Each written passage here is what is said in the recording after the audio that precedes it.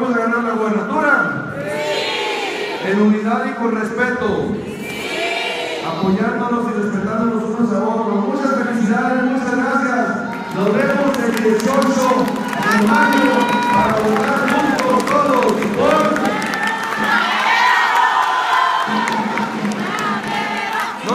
Por...